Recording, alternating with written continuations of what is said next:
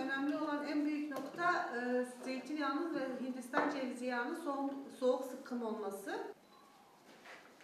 Biz daha önceden sıcakken sabunla e, zeytinyağıyla karıştırdığımız zaman bu sabunda çok kötü bir görünüm yap- yapabilirsiniz. Tamam. Hani direkt ben bu kadar zeytinyağına bunu koyuyorum bir kek pasta gibi değil. An 30'un üzerinde olursa sabun kalıptan normalde 24 saat içinde çıkar. Kaç kalıp Ee, çıkacak hocam?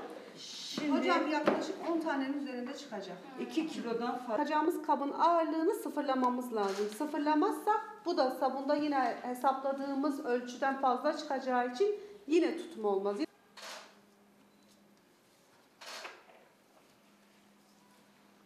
10 gram da Hint yağı var burada. Hindistan cevizi yağı soğuk sıkım olduğu için bunun içinde kurutulmuş defne yaprağı var ve yeşil kil var. Yeşil kilin olmasının sebebi Renkli olan turuncu. O suç oldu. Elimizde. Hangi ciltlere kullanılır? Ee, Hocam e, hem nemli ciltlere hem kuru ciltlere kullanılabilir ama istediğiniz sabunu yapabilirsiniz soğuk yöntemle. İstediğiniz çeşidi. Olduğunuz zaman işte ilaç kullanmayayımdan nane limon kullanayım niyetine ayakta olan onların formülleriyle biz bu işe başladık. Hocam karıştırın. Birleştiriyoruz. Yavaş yavaş zeytinyağını ekleyerek karıştırıyoruz. Kesinlikle güneş görmeyecek.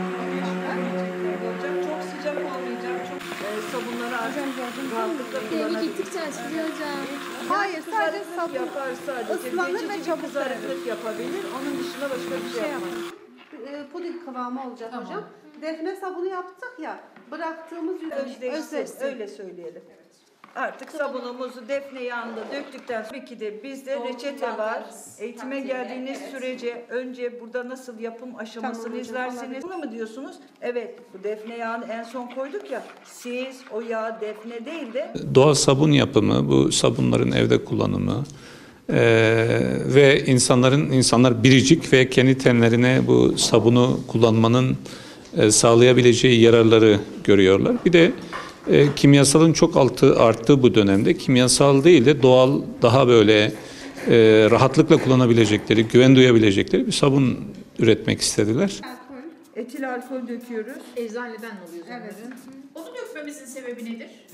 Bu e, buraya gelen arkadaşlarımız, çok sayıda arkadaşımız e, doğal sabun yapımını hem deneyimliyorlar, hem öğreniyorlar, hem ileride kendi evlerinde de bu tip bir sabun e, üretme e, biçimini gerçekleştirmeyi düşünüyorlar. Arkadaşlar şu anda defne sabunumuz mayalandı. Şu anda sabunlaşmayı Öğretmenimizin yaptığı bu sabunları ileride sergileyebiliriz. Bir tanıtım oluşturabiliriz. Bütün bunlar öğretmenlerimize destek sağlamak amacıyla yaptığımız şeyler. İnsanlar fabrikalaştığı bir dönemde gidip fabrika sabunlarını alırken hiçbir kimyasalı yok. Ee, hiçbir yan etkisi yok. Evlerinde rahatlıkla kendileri olsun, çocukları olsun, hastalarına olsun kullanabileceği bir üretim yapıyoruz şu anda biz. Dönütlerimiz kesinlikle pozitif, çok olumlu olarak geliyor. Hatta şu anlar e, şu an yok olarak satıyorum. Beklet, e, müşterilerimi bekletmek zorunda kalıyorum.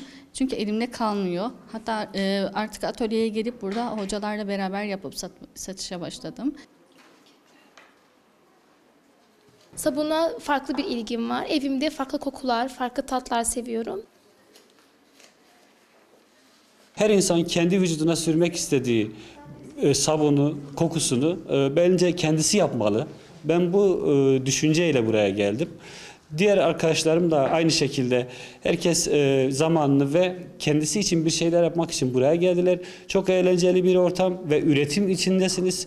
E, Sürekli üretime katkıda bulunmak için hep herkesi buraya bekliyoruz.